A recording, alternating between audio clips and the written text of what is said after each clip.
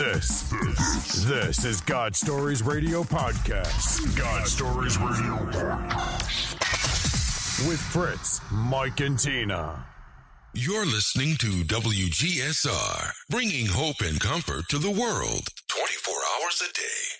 You're listening to the God Stories Radio podcast. www.godstoriesradio.com. Thank you for listening to WGSR. Become a partner today. Just go to godstoriesradio.com and click on the form so we can talk about your business. WGSR, bringing hope, comfort, and encouragement to the world 24 hours a day.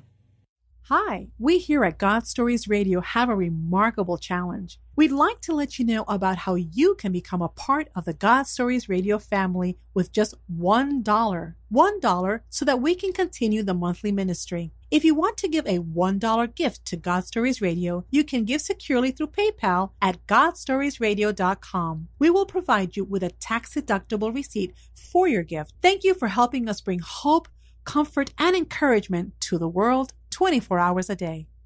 Hi, everyone. I'm Barbara Beck, host of Welcome Home on Good Life 45. And you're listening to my good friends, Fritz, Mike, and Tina, right here on God Stories Radio, bringing hope, comfort, and encouragement to the world through the power of the Christian testimony. Keep listening for a big blessing from the Lord. You're listening to the God Stories Radio Podcast with Mike, Fritz, and Tina. Listen to us live on the Mixlr app. Also, be sure to follow us on iHeartRadio and you will never miss an episode.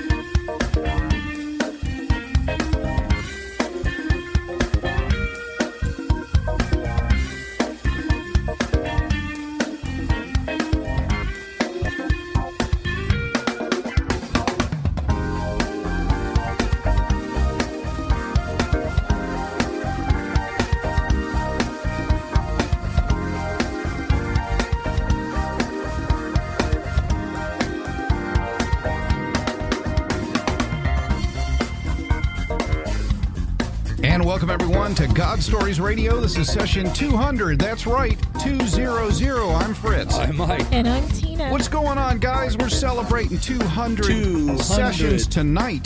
Unbelievable. It is. I am so excited. I uh, Thank you, Jesus. I am beside myself. It is nothing we have done. It's all the Father. Absolutely. All the praise and the glory goes to the Father. And who to thunk it? Who'd have thunk it? And he's still continuing to let us be stewards.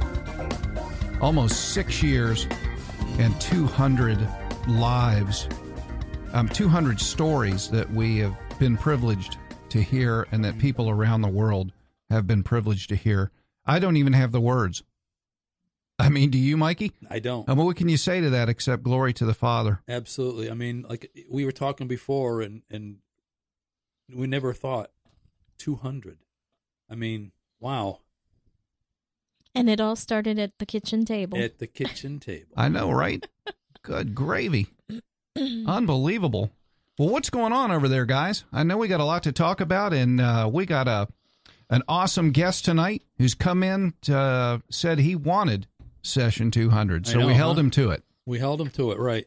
Um, and I did some. I don't know how much it means, whatever, but uh, I did uh, some number checking today. I had a little time, and and uh, at the beginning of March, we hit uh, hundred thousand downloads. I don't know how much that. 100 grand? Yes, That's a that's amazing. It that blows my mind. A hundred thousand people have listened. That we know about. right. That we know about. Yeah. Yes, exactly. On Glory to one, God. just on that platform too, right? No, it's all all three that uh, three you know that uh, keep track: iHeart, Mm-hmm. Spotify, and Libsyn. Mm-hmm. That's probably probably cover counts them all. Right, but like YouTube, for example, you don't know No. how many people have No, we listened, etc. So that's Fritz pretty does. exciting. Yeah, yeah. Well, I've got some Facebook likes. Should I go ahead and shout? I think those you should because I got a bunch of people on Mixlr and people are chatting already, and this, this right. is great. We've This got a great crowd on tonight. I wanted to welcome everybody that's listening live on Mixlr, and let me see who I got here. I can see uh, Gregory Reese. Welcome, uh, Janelle Grimm. Welcome to the show. There's several others that I Isn't- can't tell who you are, but if you follow us on Mixlr, then Isn't Gregory Reese coming up as a Gregory is. Reese is a guest. Mhm. Yes, guest coming up? Mhm. Yep. absolutely. Looking forward to his testimony. Um, all right, so let me go ahead and shout out these Facebook likes. So we want to say thank you to last week's guests, Hans Petter, Thank you, Hans. Appreciate it. Thanks. What a testimony. Yes, it was. Thank you, Hans. I need to contact you. And I had then question. we also want to say thank you to Edward Jackson. Edward Jackson, thank you. Thank you, Edward. Welcome People to the you know GSR there? family. Yeah, yeah, All that's right. that's one of my brothers Wonderful. from the church. Nice. How about Tiffany Gomez? Yep. Yeah. All right. Tiffany All Gomez. right. Yeah, thank you, Okay, Tiffany. Thank you welcome, for liking us on welcome Facebook. to the GSR family. Yes. Jasmine Seha. Jasmine, welcome. Wonderful. We just saw, yeah, we You- just saw Jasmine and, All and reminded her that uh, my wife reminded her, I should say, that I was going to be on. So Wonderful. That's fantastic. All right. Uh, Janie Pedraza. Did I say? Hopefully, I said her name correctly. Sounds about right. don't know Janie her. Pedraza. Well, Janie, thank welcome Thank to the for Janie. GSR family. Yes. Thank you for liking us. And Doris Danielle Jackson Shazier. Oh yeah, Miss Doris. Miss Doris. Doris. She is a you. wonderful, wonderful lady. Oh, thank you, Miss Aw. Doris, for liking yes, us. Thank you. She welcome just to had a the baby. GSR family. Yes. Congratulations. Just Yeah, had a yeah, baby. just had a. Fantastic. All right. Wow. Six likes. That was pretty good from last week. I think there's more. No, there's that's no? it. Is that it? That's it. That's it. But that's good. That's pretty good. You should feel six is pretty pumped amazing. up. Oh, Yeah, I do. really, I'm you I was should be. amazed. My And- thing was going off today. Ding, ding. I'm like, Sochi's blowing us up, man. And anyone else often- out there, if you have not liked this yet on Facebook, please do because Fritz needs to hear those That's what he and says. shout outs at he blames that on me, but I, I own it. I own it. It's really awkward when we Uh-huh. don't have anybody to, to welcome in that portion of the show anyway. Right. Just new members to the GSR family. Amen to that. Man, well, I got a couple of things. Um, a couple of people I want to thank. Uh, there's been a lot of people that have helped us out over the years, and there's some folks that have done, you know, uh, commercials and shorts for us, and stingers and outros and stuff like that. I just want to thank some people real quick. I want to thank uh, Trish, obviously. Yes. Oh, Trish is still part of the family. We love you. And Trish, if you're listening, we're praying for you always for uh, things to work out. Yes. Everything. And her friend Melissa, who helped us out a bunch with um, some advertising, and she did a lot in Spanish for us. And I still have a vision for a Spanish GSR. I think it's going to happen. I just do. I want to thank uh, Suzanne Lynn from Z88.3, who did, who did a lot of spots for us and um, outros and things like that, and talked about uh, becoming a partner. She sent a few uh, She sent a few testimonies guests. our way. Yep. Love you, Suzanne. Appreciate you and thank you so much. I want to thank Mike and Isabella at Music Radio Creative in the UK, the Isle of Wight. The Isle of Wight. I yes, love them. they Love have listening. been uh, so instrumental in helping this podcast, uh, even to the tune of of of giving us things. I was I was given uh, a whole set of uh, uh, Mike's presets where I could produce and stuff like that. And it's just the list goes on and on. We just Mike and Isabella, we love you. Thank you so much. Thank you. You're part of the GSR family. Uh, Stephen J. I want to thank him. Uh, Stephen J. Voiceovers. He's done a lot of commercials for us. Uh, I also want to thank my buddy Pete in the UK.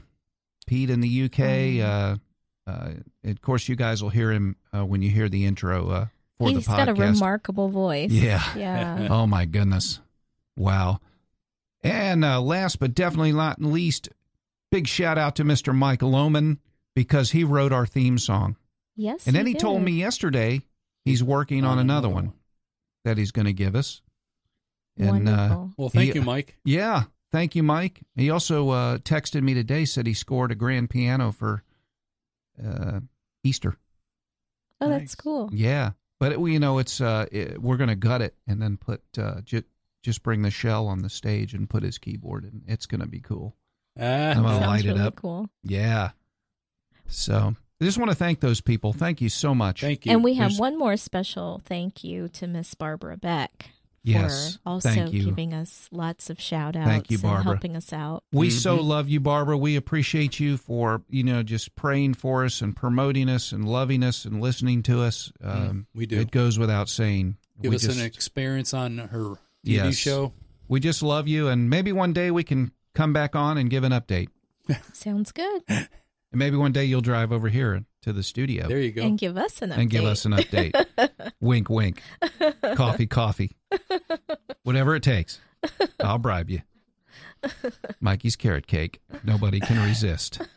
That's true. Speaking of which, we do have one because we're celebrating 200 episodes tonight. So um, Mike baked up a, a carrot cake. I did. we'll have to make sure to get a picture of it, Mike. Fritz was all about it. He says, "I think that's a, a It- perfect." It uh, had to happen. had to happen. I Okay. know he just goes bonkers He when does. it comes to your carrot cake. It is good. I do have to say. It really is. Yeah, bonkers is kind. I appreciate that. oh yeah! Wow, almost six years and two hundred sessions, Mikey. I still, know. uh, wow, I'm just wow. So, what else we got? Any countries? No, no. We're still new- at no 94 94 countries. That's all right. We'll take it. that we know of. that we know of. That's right. The Lord's blowing it up in His His time, Yep. in His way. And then the guests we had last week prayed after the show and everything else, and I think he gave us gave us a little bit of a vision. I think so. What's- I think He showed us what some stuff looks like. Mm-hmm. It really set me back for a minute. I'm like, man, I'm not I was on for it that. all week. I was on it Wow. all week. I do. Wow. So that is awesome. All right. Any other business? I want to get to our guests. I, do want too. Because I, I just love these guys. Um, Stephen is uh, the business administrator at First United Methodist Church, where uh, I work and attend church, and I just love my family over at that church, and I, I call it a family because that's what it is, and we're we're pretty close knit, and I don't think there's anything that we can't handle together. Uh, and I give Stephen a lot of credit because he handles a lot of things that uh, you know it kind of protects us uh, umbrella wise and uh, protects the church. And what he does is is just basically amazing and I appreciate him so much. And uh, uh, he also brought his lovely wife Sochi and uh, she is a session 192 Yes. and I suggest uh, please get over there and listen to Sochi's uh, testimony 192 and she talks about also her what she's doing currently with her her women's ministry and stuff like that it's just amazing so get over there session 192 that is Sochi One would almost say it's remarkable. Yes. oh I see what you did there Ah. that was good I like that babe you're on your game tonight I know I wish I had uh, some sound effects pads or something Probably anyway. sound a little bit more like wah wah wah. Uh, yeah. But man, I so appreciate uh, Stephen because uh, when when Sochi was here and gave her testimony, Stephen says, "I want session 200."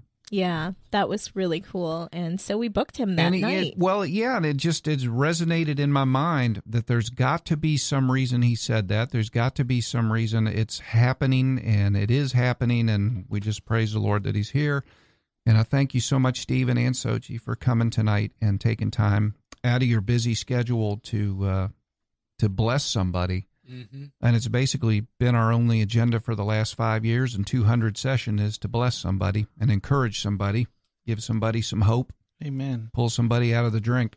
Amen. Amen. Well, thank you So- so much for having us um having us back. And uh, to anybody who's listening, uh, you know, the Bible talks about um your words and how powerful they are and and uh, life and death is in the tongue, and you can make things happen by what you say out loud. So Amen be careful what you say out loud. if you're Amen like, that. if she said, "Man, 200, that's amazing," I'd love to be. I'd rather be love to be here for the 200 show, and that turned into literally me being here as the guest for the 200 show. So well, you gave us hope, man. You messed up. that's You messed well, up. You know, I've really I was taking some time to reflect this week on on what you guys have done and what you've accomplished here, and um, you know, it's pretty amazing um, the consistency with which you've you've moved, and um and it reminded me of a book that Sochi and I had just finished. And I can't remember if I had mentioned this last time we were here, but we just finished a book in a Bible study by a pastor named Jeff Manion.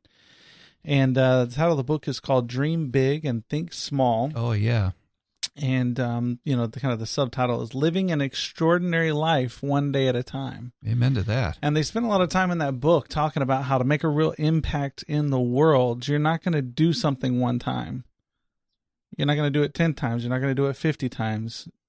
You're going to do it a thousand times. And a thousand and one, something's going to break.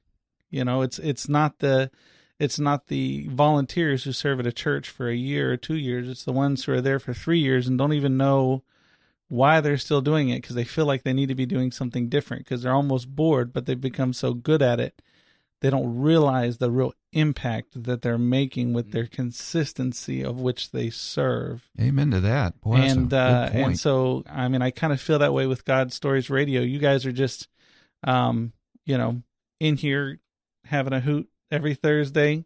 Uh, but you don't know the impact of what you're doing and the consistency of people bringing a word and a testimony that can encourage people out there in ways that you can't even imagine. Nope. You know, it's just it's just like when you're sitting in a service and you go back and you're sitting with some friends at lunch and you're like, "Man, I can't believe that. I really got this." And then they're listening and they're like, "That's not what I got. I really got this." You know, because the Holy Spirit is talking to each of us, and and it's an, it's the same thing with this uh, with this wonderful program. People listen, and what they pick up from it is is different for each and every one of them. Uh, but an encouragement and a testimony, um, no matter how how you shake it out. Um, you know, I try to get in the word a little bit each day, and sometimes I'm more successful than other days. And uh, I have a habit of, in, in admitting at FUMC, don't listen to this. I don't want them knowing. I get there a little bit early and I sit in my car in the parking lot because once I get out, there are no guarantees. Mm-hmm. and I bring my little devotional. I'd be lying if I said I didn't do the same thing. Right? I, I go and park under that little tree, yep. man, and I'll i eat my breakfast and yep. pray a little bit. Back in Once and you're try out of the get, car, man. You're committed. Trying to get my mind right, and um, and I love Charles Stanley. I know. Um, oh, yeah. oh, we do too. Yes, I mean, I love do. Andy Stanley, and I and I love uh, you know all of the the the younger, newer pastors, but th- something about uh, the way Charles Stanley can condense such a big idea into really a small, biteable chunk. Um, and he was, he, I was reading one of his devotionals not long ago, and um, he started talking about how you can witness to the world, and uh, and he was saying, you know, not everybody believes what the Bible says. Uh, they'll argue about the dates in it. They'll argue about the timeline. They'll say that it was written by man. They'll um, you know, they'll complain about churches because they've because they've met some Christians that oh, you know, they're not perfect people. They'll and and he pointed to all the different things that people can argue about when you're trying to tell them about Christ. He said there's only really one thing that they can't argue about. And he said that's your testimony because you're testifying to how good God has been to you. Mm-hmm. So they can't argue with that because it's your story. Mm-hmm. It's your story. It's your interaction Mhm. with God and, and the things that He's done for you and how He's lifted you up and how He's blessed you and how He's made you feel and how He's rescued you in your deepest, darkest hours. How He's given you something bigger and better to live for and better than you think of for yourself. And uh, I just thought that was such a such a powerful statement. I never really had thought of it that way. Yeah, if 'Cause you you- re- really wrap your head around that, Well, it's that'll, just- that'll change your life. if you're if you're somebody like me who tends to um downplay yourself you're like i don't have an amazing testimony i don't have Mm-hmm. We get this i don't have time. that i'm sure you do but but it's still your You bet. testimony with the lord Mhm. and it's the most real true thing that they can't argue with because you're just telling your story And and, i think that's what makes this so special Always seems to be someone's, is what we Absolutely. I was say, out there say that, that. need to hear just ready to say what it. you have to say. Your your testimony, your personal testimony that the Lord built for you is for someone out there, just for them. That's right. That's right. And I think that's what I think that's what makes God Stories Radio so um so different, so unique. You know, the consistency with which you guys have done it, um, the the constant shifting nature and different personalities and and and backgrounds and um, it's just got a little bit of something for everybody. That's, And- what- and- that's our hope. Yeah, yeah. No, I mean, I just, I really wanted to commend you and just say that I'm, I'm so uh, proud to know you guys, and um, I'm so uh, excited to be here for the 200th episode, and um, and I just, uh, you know, I, I think it's really amazing what you guys are doing, and I wanted to, I wanted to make sure that I communicated that. Oh, thank you so Thank much, you. Stephen. That's we really appreciate kind of that. you. It is. Really kind of you. Thank, you so much. But it's all Jesus. It is Amen. is. Yeah. At the end of the day, Uh huh. praise How many, Father. how many times did you want to quit earlier on? oh, lots. I'm just glad we didn't quit on the Uh, same week, Mike. That's right. Because I there was a couple times I wanted to give in. Oh too. yeah. One time we took uh, almost over three months off. Yeah, it was. Three and months. and uh, the listenership grew. Really? Explain that one. Yeah. That's awesome. Absolutely grew. Three months we did no show. Wow. Three months, and and the listenership grew. So that told me right there, Mm-hmm. it's not ours anyway. No. Let's go. It's all his. Well, you know, it's funny you mentioned that you guys didn't want to quit on the same week. That's why that's why he sends us out two by two. You know, you can't be overtaken as easily. You can lift each other out of the ditch. You can Mhm. encourage one another when because some you know, life is hard. Got that and you, right. and you're gonna Mhm. get down, even if even if what you're down about is just in your own head. Uh, That's the truth. Well, it really is the truth. Um, you know, you can convince yourself of a great multitude of things, including everything in my life is going wrong. hmm Uh, and you need someone who who in love can say, "Wake up, Uh-huh. right? wake up, stupid! It's not Yep. all bad. You're Yeah, just you're, you're just a little blue right now. Yeah, Look that's right. around. You've got plenty." plenty to be um excited about but i think we've all we all had those Oh, yeah. days You got that, that voice on the left shoulder. You got to flick it off. right right Fritz and I were just listening to a testimony, or not a testimony, a sermon by Tony Evans. And Love he was Tony just, Evans. yeah, we Mhm. do too. And, you know, just talking about the power of prayer and talking about the times when you need other people praying for you. You know, there there's a time that you're praying for yourself, but there's also a time in your life where you need other people praying for you Mm-hmm. you're not enough, you know, and it was amazing to listen to because Fritz and I have definitely felt in that situation before. We have friends that are experiencing it and going through it right now too. And you know, we all stand in the gap for each other. absolutely You know, they stand in the gap for me, lift me up, pray for me, and Mhm. wow, what a difference it makes It does. you know, I can't believe the difference and how I feel compared to when I was just praying for myself, you know, Mm. and then I opened up to people about, you know, because uh, a friend of mine told me, and she's actually also given her testimony as well. So, Yvette Lane, this is for you, my love. Um, she told me when you're depressed, the tendency is to just keep it kind of hidden and not expose any light on that. And that's part of Satan's plan is to Mhm. like keep you in that darkness and pull Mhm. you down further and further into that pit. Mm-hmm. But as soon as you start opening up and exposing light onto it, things start changing. So she encouraged me to talk to my husband about it, you know, and I did. And then he immediately went into prayer mode over it. And then next thing you know, I'm like, okay, let me open up to my Bible study group about it. And then I've got my entire Bible study group plus my husband plus my friend now all praying for me. And what a difference it makes when you have people, when you're willing to expose the not so pretty Right. to people right and say, I'm feeling like this, Mm-hmm. which, you know, nobody wants to admit when things aren't great or when things aren't rosy. But it's important to have those people that you lean on, those brothers and those sisters that can pull you up. We're not meant to do life alone. Absolutely. I think especially with with men, um, I mean, it, it's with anybody, but I think especially with men, uh, we see vulnerability as a weakness. Mm. Um, and and it's um, it's not. If you get the right people around you that you can be vulnerable with, you know, you, it's really it's really a strength. It's something that you can that you can draw on. Um, but that's that's two of the greatest you know weapons of the enemy is shame and uh, and fear Yep. And uh, you know, there's a great acronym that that I've heard uh, that says false evidence appearing real Mm-hmm. for fear because it's not. It's all. It's all in your head. You Mhm. know, or the shame of what you used to do. You ever notice in the Bible that they they would still call people by what the you know Simon the leper. He hadn't been a leper since he met Jesus. You know, or, or you know they would constantly refer back to this old life. Yep. And that's the Bible.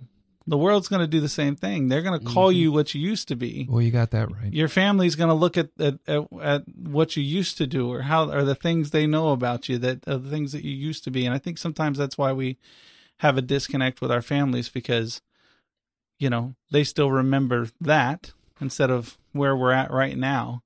Um, and um, we all have a past. We all have things that that uh, that we haven't done well, or we surely could have Mhm. done could have done better.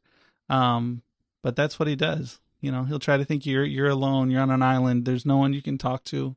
There's no one that'll understand why you're depressed. There's no one understand uh, that you feel like you're not enough. You're searching for something, and you don't feel like you're gonna find it.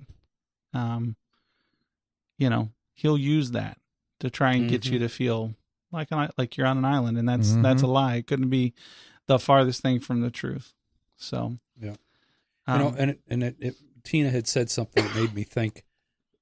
Again, feeling in that position or anything else, and you know, I would go to Father. and I said, you know, I'm praying for a bunch of people. Who's praying for me? mm, Right.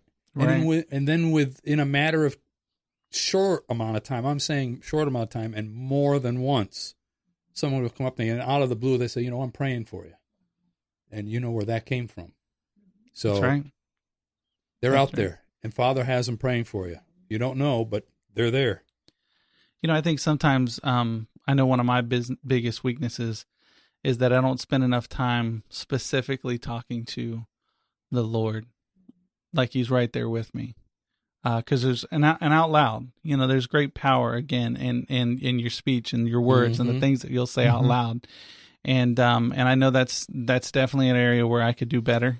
You know, prayer and talking like He's right there with me are probably the two things um, that I need to do a better job at. And I'm always amazed uh, with my wife Sochi, and I tell her all the time, I was like, he just loves you more, and she's like, stop it. I'm like, and I, but she, but she, she talks to him Right. like he's right there, mm-hmm. and she will cra- she will pray the most crazy specific. Um, you know, nonsense to any like normal person because it's not their issue thing. And then like 10 minutes later or a week later or whatever it is in a very specific way, he'll answer it. Mm-hmm. You know, when it, that shouldn't have happened. There's no way that should have happened. God, I don't know how to bring this conversation up. Have that person call me out of the blue and start the conversation so we can talk about it. Three days later, hey, Sochi, I really just need to talk to you. What? Uh-huh. What? Yep. All the time, all the time. And I look at her and I'm just like, I got to start being more specific. Uh-huh. This is just incredible. I know, right? Right. Well, and that's the only way I do it out loud. Prayer, wherever it is, whatever it is. I read the Bible out loud. Um, Charles Stanley, I got it from Charles Stanley that, you know, when you hear your words, you hear them. Don't just say them in your mind, Earth, but when you hear them, it makes a big difference. And ever since then, I do it all out loud. Well, I think that's what the what he means when he says to pray without ceasing, and that just means to carry him through every facet of your life, and uh, for him to be involved of every facet of your life, Mm-hmm. and you can just talk to him now. Uh, some things require corporate prayer. Some things require you hitting your knees Mm-hmm. because they're serious. And Tony Evans talked about that when they prayed for the the child with cancer. He Mhm. said it was business time. They took off their jackets, they hit their knees right there in the hospital floor. And uh, you know, that's different, but when you just walk and talk with the Lord, I think there comes to a point where you just kind of sense his will. You know what I'm saying and and uh, that's great because that's uh, that's a prayer God has to answer. You know? I mean, that's his Amen. will. So Amen. Mm-hmm. did you have a testimony? Yeah, really. I was just going to say that. Because, brother, you got us started. Yeah, really. Yeah, I'm good. I'm good at that of of, of shifting and distracting. Well, I'm going to tell you right now. You brought your preach on in here. You just started right in. You got us started. So I'm fired up, man. I'm telling you what. I could go on about this. is awesome, but uh, Mm-hmm. I really, really do want to hear more about you. well, um, all right. So a little bit about me. Um, I come from a from a pretty typical family. I was born here in Central Florida, at a little hospital in Eustis that's not even there anymore, and uh, and have a whole bunch of family that is you know up there in North Lake County, and um, um, mother and father, dad was married before, and and, had a bad marriage, and and and um, so bad that when he went to court with to, about custody for his two kids, um, now you got to think this is 45 years ago. The judge said, "No, I really think it's best if the children stay with their dad full time." That's wow, how that's unusual. it, especially for you know, For a like 45 years ago. Mhm. Yeah. Um, but it was bad. It was a bad situation. And then um, about that same time, my my mom, uh, she was pregnant with a little girl, and um, and she met my dad, and they both needed somebody. You know, they both they both needed they wanted someone to be around for their children. They didn't know how to do everything right, but they knew that was probably going to be better than trying to trying to go it alone. And so uh, so they got married. They did that for a couple of years. Things were rough uh, as they are in the first couple years of marriage, and especially with blended families. And um, and then they said, you know, we know what'll help everything. We'll have a baby together. Uh, that fixes it. That fixes everything. oh, sure. That fixes Yeah, it'll just bring everybody together. Ah, yeah. and so um so I was born and uh and um they they had a, a, a rocky next couple of years and um you know I wasn't you know consciously aware of all the problems. I was probably about 7 when they got divorced and um you know but I but I do remember very vividly the conversations around that particular period of time uh, and that they were going to take some time apart, which I knew meant probably not get back together, even in my seven year old brain. And um, so my parents separated. I ended up staying with my mom during the year, during the school year. And, uh, you know, I thought, well, mom's probably a little bit more stay on top of me, and dad's a little more fun. Maybe I'll stay with him during the Uh. summers. I'll stay with mom during the year. Um, neither one of those things was exactly true either because mom mom can be a, a ton of fun and dad dad's a lot of fun but he worked a lot. So in the summers i ended up staying with some of my older siblings a whole bunch as well. And um so that definitely that shapes your shapes your life. I went to a bunch of schools um you know probably at least 10 schools growing up. Wow, um that is a lot. you know moving around and you know she would she would take the work that she needed to and and we would move around a bunch and um you know in previous years before I had my own kids. I think I was a little harsher of my parents and uh and kind of the way things went. Um and now looking back on it I don't make any excuses like they did everything right cuz they didn't. Uh but I do look at that and I say you know what? I know they meant Yeah. the best Right. and they tried their best. Um and so that's that's sort of where i am with that. So um my mom was going to move out of state to memphis of all places. She had a sister living in memphis. And i was like yeah i'm not moving to memphis. I'm just not i'm not going to do that. And um because i don't know i had this idea that memphis was just elvis and hillbillies and then I later I went to visit Memphis. It's fantastic. Yeah, it's, it's not at all. place. It's not at all like that. It's right? a cool little town, I gotta yeah, say. I was I was wrong. I take it back, Memphis. I'm so sorry. I need to come back and visit again. but I convinced my mom. Well, let me stay with my with my grandmother. Um, you know, because I could stay with my dad, but he lived, you know, way out in the woods, and I would have had to go to Weirsdale. Uh, but if I stayed with my grandmother, then I could go to school with my two cousins, and I had two cousins, um, um, multiple cousins, but these two cousins were brothers. One was a year older, and one was like a year and a half younger. They both went to Umatilla High School. And I said that would be good. You know, I got to hang out with them during the summers. They really were more brothers than cousins, and I thought this will be this will be amazing. And so I stepped into this world at Umatilla, um, and um, I was a fish out of water. but I was used to that because I had been to a bunch of different schools. Mm-hmm.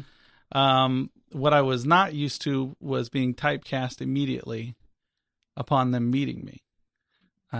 Because when I'd go to a new school, they didn't know anything about me. I could be anybody I wanted. Ah, I could be the laid back guy. I could be the smart guy. I could be the sporty guy. You can you can be whatever you want when nobody knows anything about you.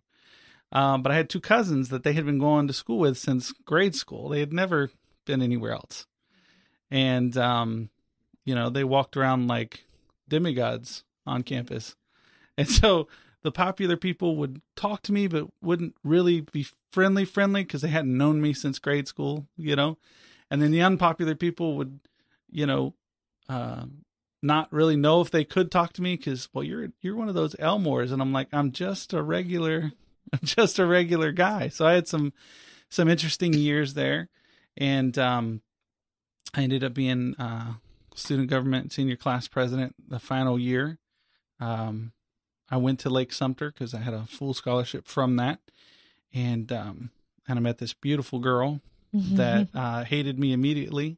oh, she's kicking me right now. So I'll tell that story. Oh, she still hates you. I'll tell that story. Go listen to what was it, 192? Yes. Yeah. Go listen to 192. Listen to 192. we- we You'll know re- all the issues, we the, the dirt about the Elmores. we recap some of that there. Um, but really, I look back on that time and uh, and and you know, God's just so good to you. He, Amen. he'll he'll give you the thing that you don't even know that you need. Mm. and um and so I had this girl and and um she challenged me. And we talked about faith and she challenged me on the way that I was walking. And uh you know, you don't really do that in the south. You know, it's it's you know, you you you well do you go to church? Okay, well you're good. You go to church, you know.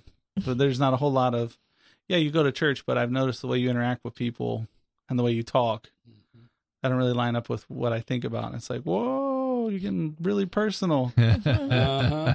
but I'm the kind of person that I think God knows that I needed to be challenged. You know, Yeah. I needed somebody who was going to keep me accountable and um, be an example and, and push me and, and see something in me that I don't always see in myself. And, uh, and my beautiful wife, Sochi's always been that for me. Um, she constantly says the most wonderful things about me. If anybody knows her, they know Mhm. that is true. I believe that. Um, We've got to witness I, it. just knowing her Man. for as long as we have, I even totally even, believe that. Even that beginning statement of encouragement to you guys, that is something I have learned from her Mhm. Mm. to be an encourager and to say out. Not that I never thought those things, but I think a lot of times, as, especially as men, we think of like a thousand great things about our wives a day. We might say one every three or four days. yeah, you're right. When if we just would say the things that actually are already on our minds, hmm Yep.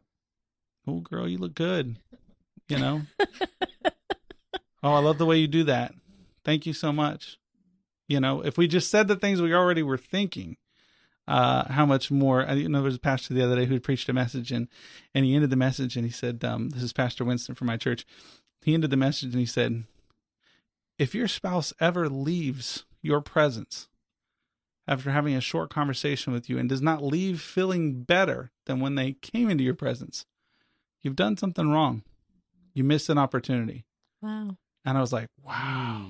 Mm. And everybody in the room kind of was like, oh. They so deserve that too when you when you think about it. Oh, I mean, it's yeah. They're doing they're doing everything uh, to help make us better. If you've got a good Oh, yeah. woman, if you've got that Proverbs thirty one woman, they're doing everything they can to make you the very best version of yourself. hmm So, um, we both went away to college. Uh, she went to the Baptist College of Florida. I went to the University of West Florida. Uh, you know, I studied communications. I really thought I was going to be in advertising, and um, I went straight through summers and everything so that I could finish a little bit ahead of her and Yeah. get a place. Yeah. And uh, and um, you know, she was a counseling major. We were going to stay living somewhere else to establish that marriage relationship, and then her brother was killed in Iraq and that changed everything the entire timeline we were going to stay Sure. gone four five six years when we were ready to have kids we'd move back so her parents could help with the kids and we had this whole you know Sure. best laid plans. Mm-hmm. And then all that was immediately out the window. I mean, we we came down the same day. I had some great employers. I think I was here three weeks. I had to come back. I stayed back a month by myself while she stayed with her parents. Um, I think we had to borrow money for the U-Haul, and a bunch of our college buddies like helped drive us down and deliver everything, and then go back. And we came with nothing, Mm-hmm. and we moved in with her parents, which basically for some newlyweds, it's just the dream right there. Uh-huh. um and but we were so fortunate you know when you get some perspective on things you look back and you're like man we, there was nothing else we could have done if we would have been staying Yeah. you know some terrible place exactly. you know both of us looking for jobs. And so um both working everything was good. Um and then i had a job where um i found out they were stealing some some money. And uh and i and i told my employers i said they're the manager's stealing money. And they said well we'll look into it. And i gave him some time to look into it and i went back and then said you know did you look into it? And they said yeah i mean we looked into it but they're really productive. And i'm like you're not going to do anything. They said nope. I said i'm out. I can't stay. And they're like why? Why would you you're making good money here? You you've moved up. You're going to be the assistant manager. And i was like until what? Enough money goes missing that you're you know so Yeah, right. so i left not worried about it never never not been without a job ever we're putting groceries on credit card you know paying for things never never never since um you know first year of college and i had a job and even in high school i was always working for my uncle or doing something else always had money something going on it was 10 months Ooh. Wow. before i found a job 10 Wow. months. and um the first job i could find was a cleaning job in the middle of the night so i was cleaning a retirement community from nine o'clock at night and seven o'clock in the morning Got to do what you got to do. and in the midst of all that um we got pregnant Yeah. Timed that one perfect, didn't you? yes we did uh-huh. um and we had spent a, we had spent a long time trying to get pregnant it was Sure. not it was not an easy thing and um so we were so excited but also nervous. Mm-hmm. i remember one night she was like i'm gonna come with work to work with you tonight. And i was like girl you are seven months pregnant. You are not coming to help me clean. And she was like i want you home just for a few hours. I want you home with me. I'm gonna come clean and we're gonna come home so you can get home early. And uh, I remember cleaning and just feeling just guilt. She was Sure. the, she was the only one making I say decent money, but she was working at the library at the time. It wasn't really decent money, but it was the best money we had. Sure. And by this time, we had moved into a place, and that was a, a God story all in itself on how we had got into that house and had built a home, and uh, and now we were struggling to to to keep it, and um and I just had just incredible guilt uh, about that. Um, she had a baby, had had the baby, our baby, Jude. He's 10, 10 years old now. Mhm. So to tell you how long ago this is Mhm. story has taken place. I got a better job, and then um, kept that job. It was a little bit of a drive, but it was a it was a it was a good job for a good Christian publishing company, self publishing, SPS Publications over in Eustis, Florida. And I was still cleaning because now I'm paranoid to not have two two jobs going at one time. Oh, wow. I cleaned for that cleaning company for the next like six years Wow. um doing things on the weekend because they have smaller jobs that one that i had was a pretty Mhm. heavy duty job but i mean i i i cleaned forever because i was never going to be without something again Sure. Mhm. um and um you know she went back to work for a couple of months and we were doing the math on things and she just said you know um i'm going to work full time we're going to have to eat out a little bit more because i'm working full time and you're getting home late because of the drive and um i think i'm going to clear about 50 bucks a week and i said that's crazy Mhm. after we pay for childcare and the food and everything, I think I'm gonna make fifty bucks a week. And she was like, just crying. She's like, I, I don't want to leave my baby for fifty bucks a week. Mhm. Like, what are we doing? Mm-hmm. so we prayed about it and really thought about it. And, um, and this is the first time that I really remember laboring in prayer over something with God because, um, I thought the idea of her staying home really was crazy. Mm-hmm. You know, and she had kind of mentioned some things. Man, that would be really great to be able to do that. And I'm like, yeah, it would be if I make an hundred grand. Um, you know, and that was way before we had a baby. And here we are in this moment, and we had just come from this very traumatic, um, broke. You know, I won't say poor because that's that's the wrong mindset. We we were broke at the time. Mhm. You know, and we just were starting to get back on track. You know, we'd had all this credit card debt, and we had kind of shut everything off, and we're trying to climb our way out. And and I had known about Dave Ramsey since I'd been in college, you know, and had known some of those principles and was kicking myself that we had got into such trouble. And um but we really stepped out on faith and said, We're gonna do it. And and she's like, But you're gonna have to work extra. I said, I know. I'll find something. So we had a rough couple of years really doing that.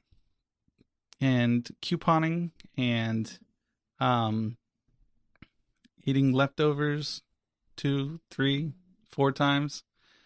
Took a car, sold it. Um, thought I was going to take a loss on it, you know, but really just sat down with with some Dave Ramsey financial planners, and they're like, "We're not sure this is advisable, but if you're going to do it, like you have to sell the car. You got to sell one of the cars." And uh, I think we cleared it with like a hundred bucks. Wow. Which I was like, "Way, we're positive." I Yeah. couldn't believe it. Thurston's Auto. I don't even know if you're still around, but yeah, I- uh, Mr. Thurston. I really yeah. don't think the car was worth it. I really don't. I don't. But I, I think he just looked at me and was like, "This this kid's drowning. I can see it." You yeah, know. he's a Yep. Christian too. yeah, isn't he? we know them. And so, um, you know, we did that, and there was a time and point where I was working five jobs Wow. Wow. to make ends meet. You know, a lot of a lot of part time jobs, and and even I would switch things around. I'd be like, well, I'm going to let go of this one, and I'd pick up one over here. But it was always like this conglomerate of jobs and schedules, and working uh, long hours. I bet. You know, so at one point I was, um, I was serving at Red Lobster. I had started my own graphic design business, and like when you got projects, it's you know awesome, got projects, uh, but that wasn't all the time because we were trying to grow the business. So serving, graphic design. I was on city council and mascot for almost a decade, and I was probably the youngest person ever elected there. Um, and I counted that as a job because I certainly spent enough hours, but you got a stipend amount for the month, and Yeah. if you do the math, you're making like a dollar twenty an hour. There you I mean, really, Yeah. Ouch. you know. Um, and then I was cleaning USB Bank every weekend. That was one of the things that I held on to to the till the very end. And then I was the communications director for New Beginnings uh, for about two years. Oh wow. And so I'm like, well, I got 10 hours over here, and I got 15 hours over here, and I got 15 hours over here, and I got 20 hours over here. And I was working about 60 hours a week, you know, trying to scrape together enough to make it work. And meanwhile, my poor wife, home, I've got to have the car. It'd be one thing if I Yeah. had, it'd be one thing if I had one job and she could drop me off and pick me up at the end of the day. I was going to five different places. I had to have the car. I had to have the Mhm. car. Yeah. For two years, she was stranded. Mm-hmm. Wow. It was two years, right? It was at least two years. It might have been a little longer. And um she was she was stuck, you know? And and especially for a, a first time mom, first baby, there was all kinds of stuff with that. I'd come home, she'd be desperate to talk to anybody who doesn't, you know, uh need a pacifier or a bottle. And I'd be like, I can only imagine. I wow. could be like, I just I don't know if I can. Yeah. I don't know if I can, but I, you know, I could see she needed it. And so we really had this trial where, you know, we were relying on God so heavily. Mm-hmm. And um, looking back now, I can see him as some of the most wonderful moments where God was showing his faithfulness. And, um, you know, I don't love the King James Version of the Bible translation, but some of the things that they have in there loving kindness, Mm-hmm. you know, whether they press those two words together. There's no other way to say that. You know, the the the love that he showed and the faithfulness that he showed in in those in those days and hours when you know, I would sit down to do the, the budget, do our tithe off the top, figure out everything. I'm $150 short. $150 short. I don't know. What, I don't know. You know, um, and we always paid everything. Yeah. We always paid everything.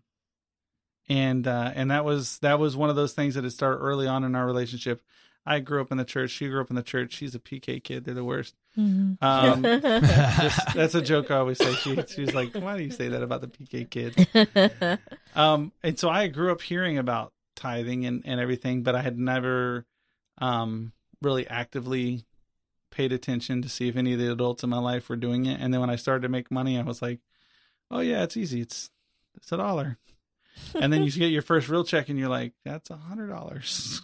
uh, you know, but that was really something that we committed early on that we were going to take very seriously. Mhm. Um, and even still today, God has been so good to us. Um, I'm in charge of the stewardship ministry at my church, and so I line up the speakers that we have for that. We do like a short little three minute devotion every single service on stewardship before we take the offering, because it's a big deal.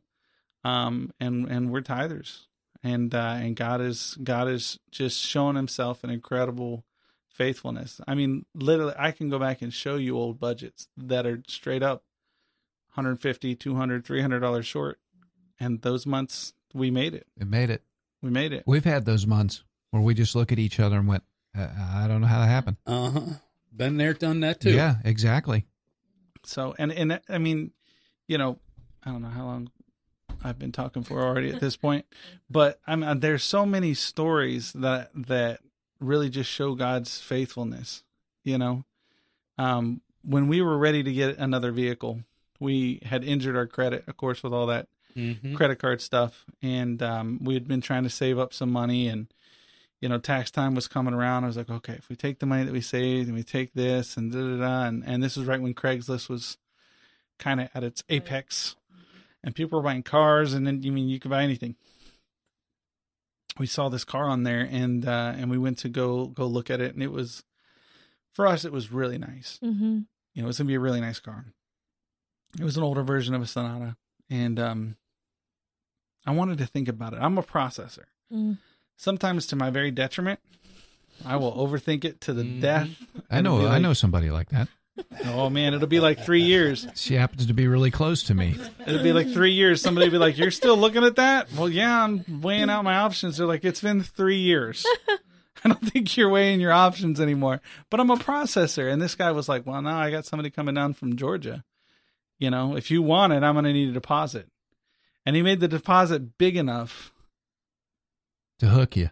Uh, that I felt like committed. And we had to travel down south to visit some some uh, family. There was a funeral that had happened. Went down to Miami, and on the way back, the guy was calling like, "Are you coming to get this car?" And I'm like, "Yeah, man, we're gonna come and get it." And I just, I, you know, I had this terrible feeling, and uh, even in my my young self, there, I didn't quite realize. I was like, "Uh, you ate something bad." I, I see it now after much more training at a at a you know a Bible believing church that really spends time discussing and and going through and and and really expositorily looking at the word. That was the Holy Spirit saying, "Don't do that. Mhm. I don't care if you put a six hundred dollar deposit down. Don't do it." Mhm. Um, so I paid the guy, gave him the money. Uh, it felt wrong. He had trouble getting the documentation together. He met us at a gas station. Oh. Oh, Um, he said, "There's not much gas in it. You're gonna want to put some gas in it." Tried to put gas in it. It kept cutting off when I was trying to put gas in. Look up, guys. Nowhere to be found. Oh no! wow. Not anywhere. And it it had been beautiful before when we test drove it. AC, everything was fantastic. AC shut off on the way home. Uh, started overheating when we got home. Good drove it around another two or three days, and it shut down four or five times. And Sochi's mom, she's a wonderful giving woman. She gets AAA for the kids at Christmas. That's they're always like, "This is what we're getting," but we use that AAA Yeah. especially in those years. I they lost they lost money on us. I'll just say that. um, and so you know, I was so bitterly angry at this man. I, I would have physically hurt him had I Well, been sure. able to find him. Mm-hmm. So that was God sparing me as much as him. I think that I couldn't Uh. find him. Um, and I was like, I'm gonna have to go and find something. We'd been to every dealership in Orlando. Mhm. Nobody would talk to us. Mhm. And I said, I know I, I, I I'm gonna go over here to this to this dealership and see this guy, you know. Um, I'm just gonna go see. Just gonna go see. And she was like, "Are you sure the car's gonna make it there? And I'm like, it'll make it there. Got on 27. It shut down in the middle of nowhere. I had a water bottle in my car, like this little water bottle here. I had to hike over to a house, fill it, and go back, put it in the radiator like seven times to get it cooled down enough, enough water in it. I got all the way over on 441, right there by that old service merchandise and all the car Yeah, right. dealerships, and it shut down there. Mm. I had to call the tow truck to finish towing it to the dealership. Uh, And I showed up, and they're like, and, "Well, first I called the d- tow truck, and then I walked the rest of the way." And they found me something. There was a really guy, a nice guy there named Jonathan Beckles. Shout out to Jonathan if he's listening. Awesome guy. He's not selling cars anymore. And he was like, "I'm gonna be. I'm gonna get this done." I said, "Man, I love your confidence and enthusiasm. Nobody has been able to to get me done." And he said, "Listen, I know the finance guy. He's like, it's gonna be a terrible rate. I'm gonna get this done for you." I promise you, we're gonna make it work. He's like, do it, pay it, be consistent for two years, go back to your credit union, refinance. He said, you'll get into a car that's not gonna break down. I don't know another way to do this for you. Mhm. Mhm. And I was like, try it, man. There's no way. There's no way. And he was like, you got to trade in? I said, I'm going to have to tow it here. I told you about it. I'm going to give you $2,000 for the trade in. I was like, okay. all right. I'll take it.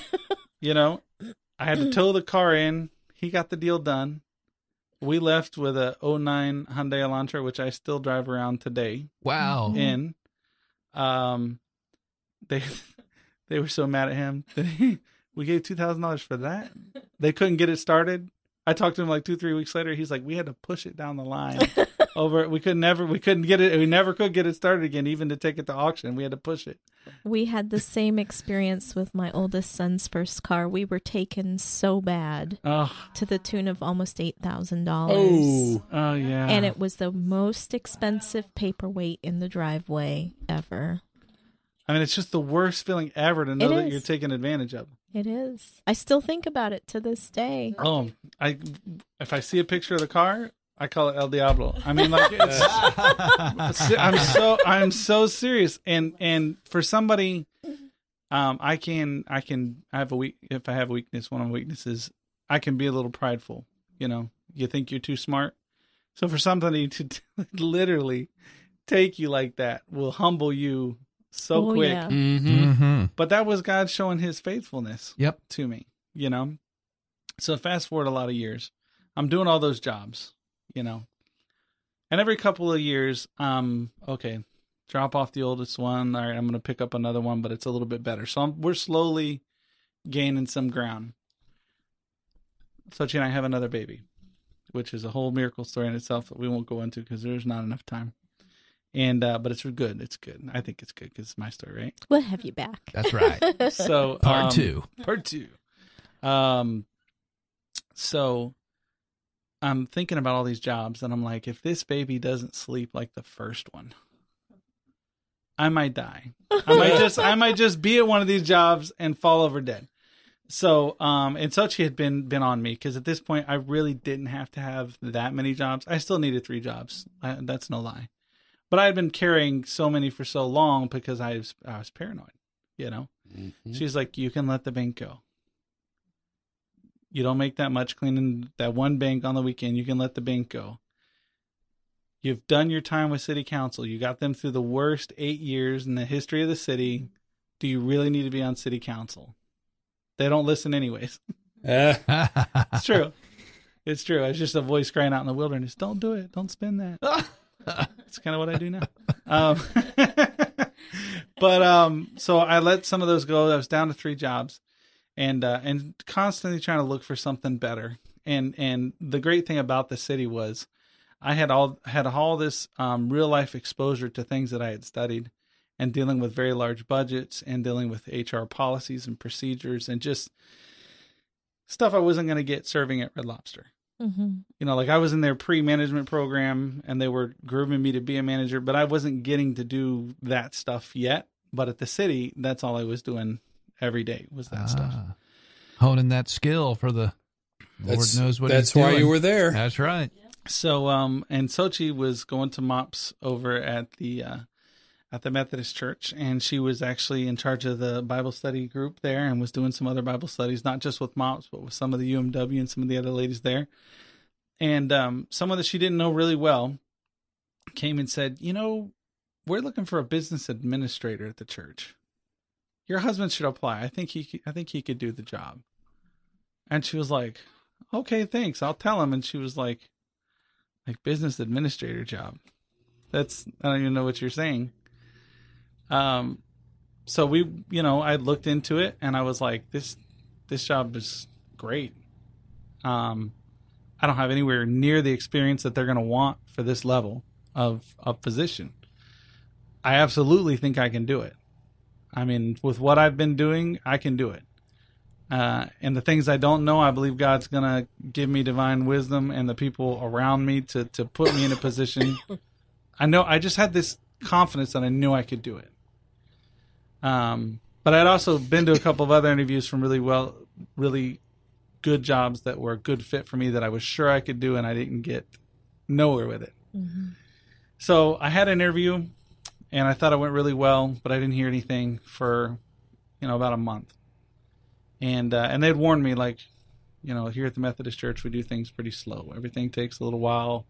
There'll be multiple meetings. There'll be this. There'll be that. So I, I you know, I wasn't worried about it. They brought me back in. They had another interview, and they said, well, you know, we're really we're trying to redefine what the position looks like. A member of the church has stepped forward and is kind of being the interim for us right now. We're really trying to decide if we want it to look like it did before, if we want to split up some duties and responsibilities. And uh, and the the head of SPRC, Robert Taylor, he said, "Would you mind if I come back and talk to you in the future?" I said, I, "I've enjoyed talking to you guys. You can always come back." Another month goes by, so I go back to him and I said, hey i've got an offer from another for another job should i wait or should i take it and he said you know to be honest we're not in a position to make any kind of decision. You should take it. You should take it. So i started doing this other job which paid really well. I was working for a plumbing company and i actually had let go of almost everything else. I was still doing the graphic design business because it was side work you know. Uh, and then i was working this plumbing job but it's hard work. You're digging ditches, you're Mhm. fixing toilets, you're you are doing what's necessary to get the job done. And 2 months into that, he called me back and he said, "I think we need to talk again." And they offered me the job. So it had been 4 months since my first interview. Mm-hmm.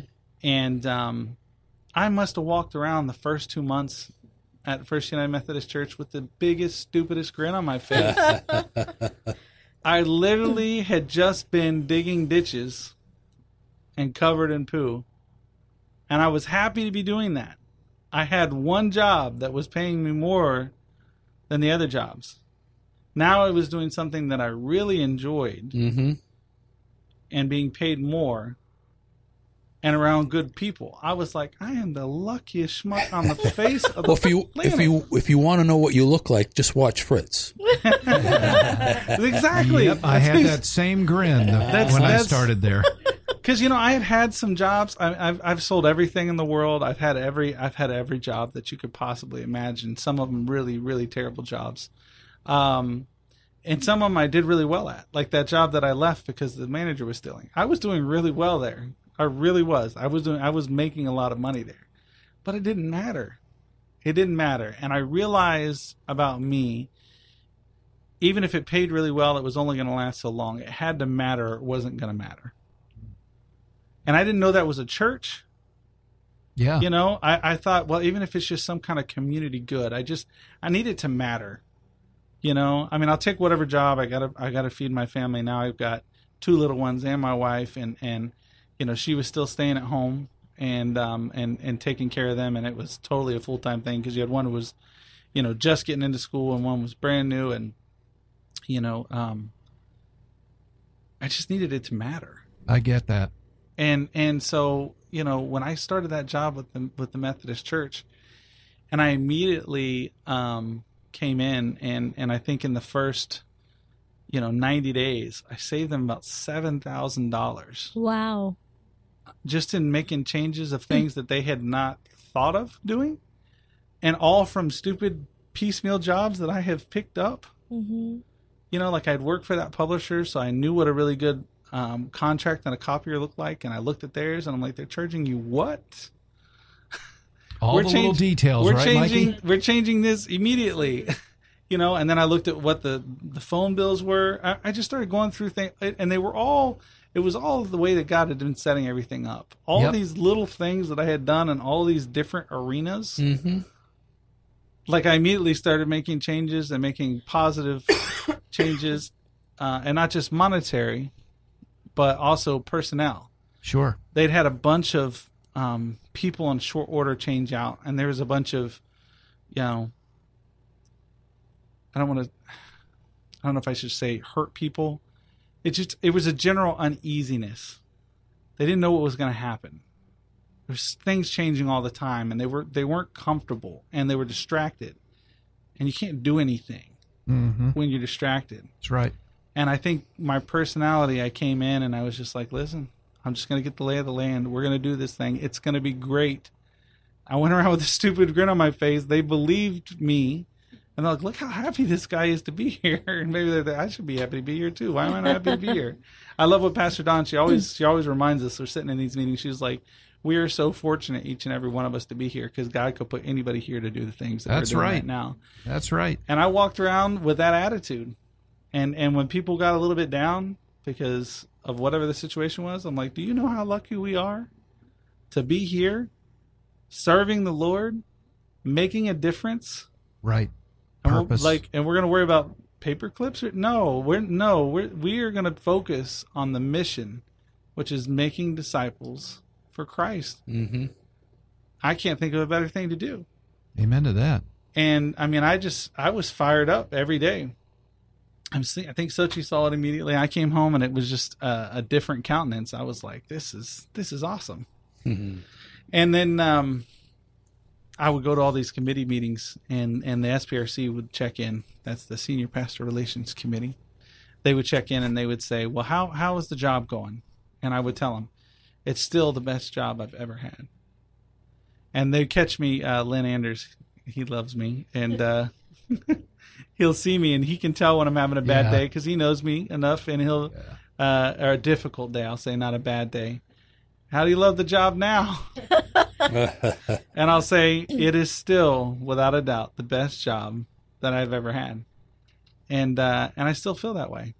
You know, um, I'm I'm so blessed and fortunate to be where I am, Mm-hmm. and I couldn't have done that without the road that God put me on. Absolutely. and I couldn't have done that without All the the- support of my Yep. wife and her pushing me and her Yep. encouragement. You know, every time I, oh, I'm, you don't know how many jobs I applied for, and she'd be like, "This is the one for you. You're, Yeah. gonna, you're gonna get it. You can do this. You could do that with your eyes shut." All the little part-time training courses. That's right. The school of life. you got That's it. it. I tell you what. I mean, I, I'm, I am. Uh, what is it? Jack of Jack of all trades, but master, of none. Yep. I mean, I, I, I know a lot, a, a little bit about a lot of things, Mm-hmm. and uh, and it served me well, you know. And I and every day I learn more, and um, I'm very fortunate to have landed in a church that has a strong denomination because I have a conference I can call if I have questions. Um, you know, if I went to some smaller church, I would have been able to maybe call someone at other churches that did that because we, we, you know, it's kingdom mindset. You know, you get a network of people doing the same thing at the other churches, but it's not the same as having a, a conference that you can call and be like, "Hey, can you walk down to the lawyer and ask him if if I can do it like this?" Um, and that's just God looking out for me. You know, we wo- I work with a bunch of great great people, and uh, and I'm just so fortunate to be there. And and so that's a little bit of of my God story. with uh, how it has to do with with work and and kind of how far I've come, and the and the great things that we're doing there. We've grown by, you know, leaps and bounds, just in the time that I've been there, and I'm certainly not going to take credit for that.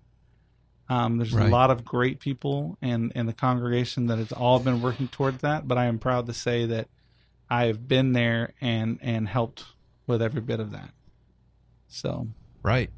It's uh I can't describe it.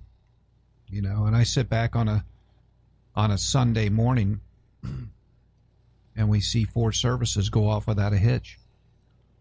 It's it's very rewarding.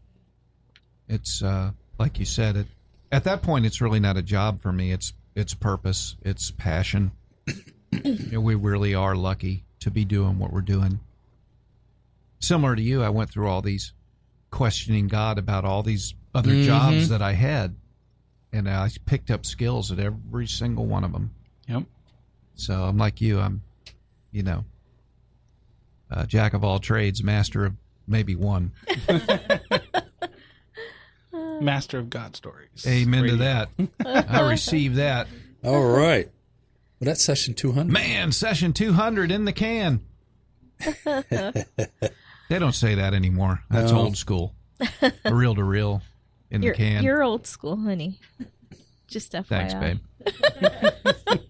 hey, you know who can order off the other side of the menu after this year? Oh, that's right. Don't be jelly. I'm, I'm Don't be so jelly. jelly. You know who's going to get the AARP duffel bag, and you're going to want to borrow it. So you just keep it down over there. I'll try. Don't be jelly. I will try. Wow. Oh man, we are so blessed, aren't we? Yes, We we, are. are. Gosh, I love that testimony because Right. uh, it just uh, just I just takes love me back. doing this. right. I just, I do. I look, it it is. It's something I look forward to each week. And to think that I was going to give up on it a few years ago. And you know what's funny too is each and every story impacts us as well. Absolutely.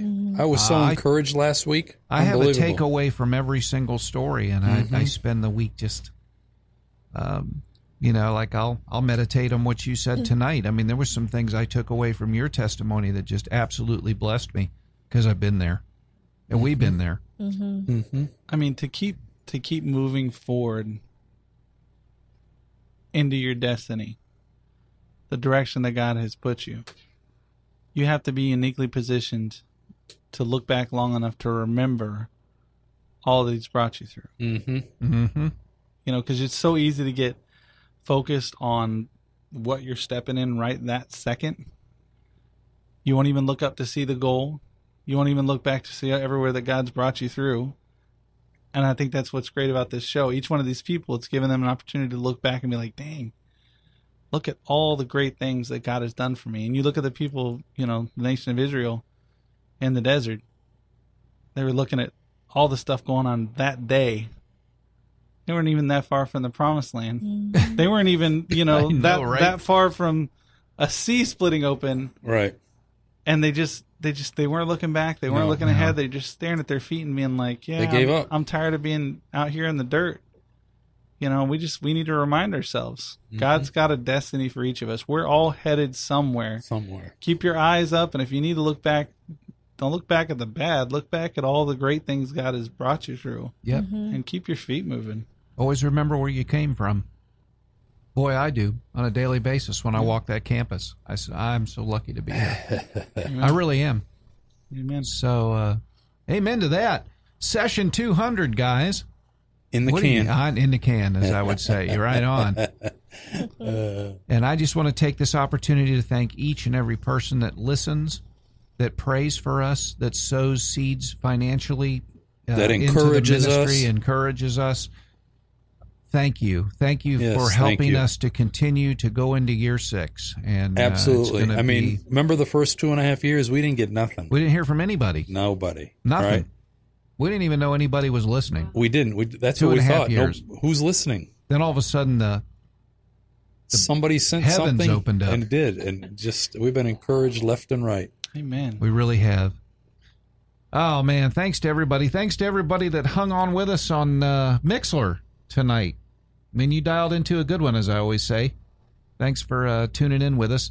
Listen, if you uh, want to share your testimony, if God has pricked your heart and you're feeling uh, that it's time, drop us a line at godstoriesradio at gmail.com.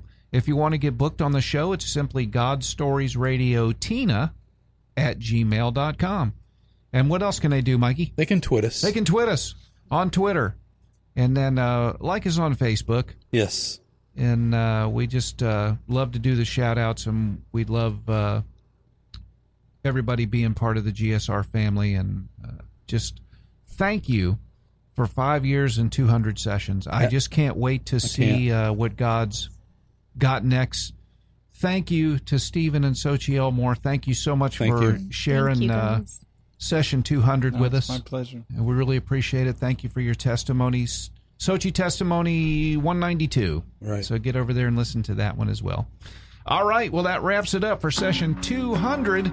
Glad you've been with us. I'm Fritz. I'm Mike. And I'm Tina. God bless. God bless. God bless. Holy fire, burn away my desire for anything that is not of you and is of me.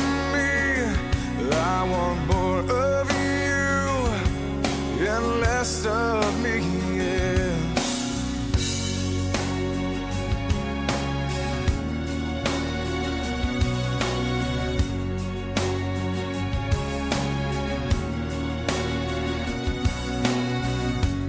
Holy uh, fire, burn away my desire for anything that is not of you and is of me. I want more of you and less of me.